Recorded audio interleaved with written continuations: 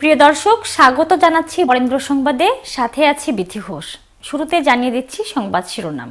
রাজশাহী মহানগরীতে অভিযান চালিয়ে প্রায় এগারো কেজি গাঁজাসহ এক শীর্ষ মাদক ব্যবসায়ীকে আটক করেছে র্যাব পাঁচ।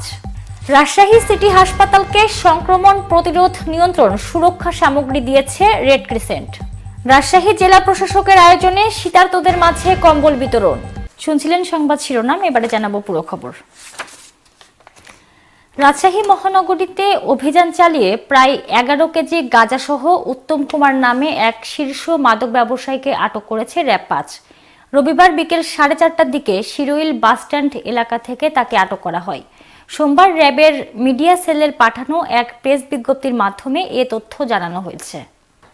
র্যাব জানায়, গোপন সংবাদের ভিত্তিতে র্যাব পাঁচ রাজশাহী সিপিএসসি মোল্লাপাড়া ক্যাম্পের একটি অপারেশন দল মহানগরীর বোয়ালিয়া থানাধীন শিরোইল বাসস্ট্যান্ড সংলগ্ন রেলওয়ে স্টেশন সরকারি প্রাথমিক বিদ্যালয়ের সামনে যাত্রীবাহী হানিফ এন্টারপ্রাইজ বাসে তল্লাশি চালিয়ে নরসিংদী জেলার সদর থানার হাজিপুর এলাকার হরিদাস সূত্রধরের ছেলে উত্তম কুমার সূত্রধরকে দশ কেজি নয়শো গ্রাম গাঁজাসহ আটক করে।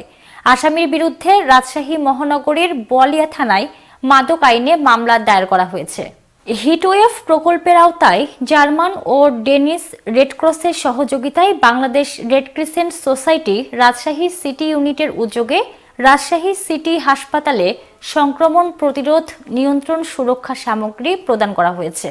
সোমবার দুপুরে সিটি হাসপাতাল প্রাঙ্গণে আয়োজিত অনুষ্ঠানে প্রধান অতিথি হিসেবে উপস্থিত ছিলেন বাংলাদেশ আওয়ামী লীগ, রাজশাহী মহানগর সিনিয়র সহসভাপতি ও red crescent society, Rajshahi city ইউনিটের সাধারণ সম্পাদক Shahin Akhtar Reni.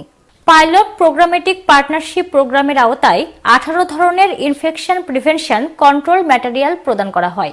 আগামীতে এ সহযোগিতা অব্যাহত থাকবে বলে জানানো হয়।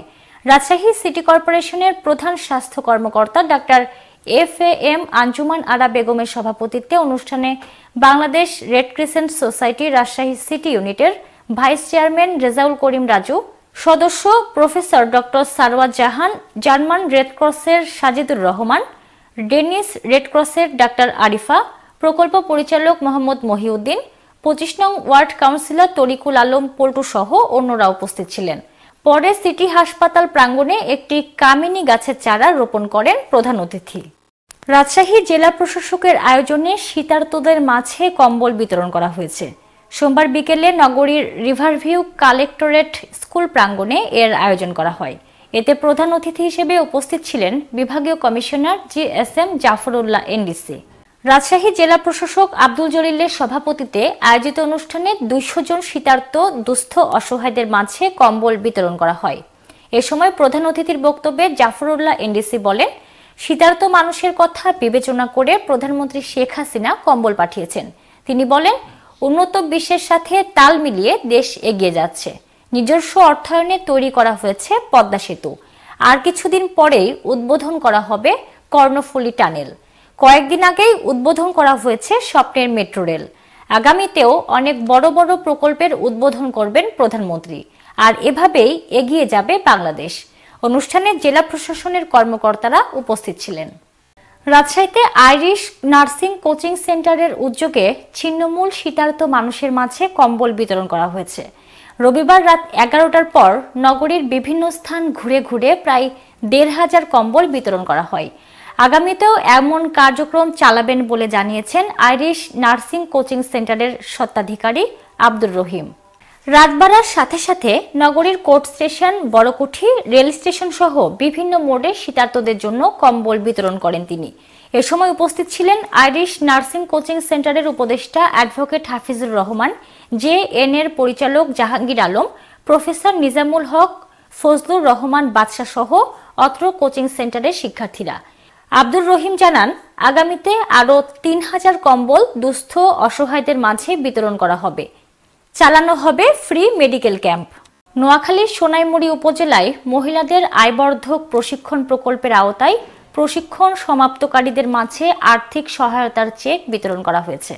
সোমবার উপজেলা প্রশাসন ও মহিলা বিষয়ক কর্মকর্তার কার্যালয় এর আয়োজন করে। অনুষ্ঠানে প্রধান অতিথি ছিলেন নোয়াখালী এক আসনের সংসদ সদস্য এইচ এম ইব্রাহিম।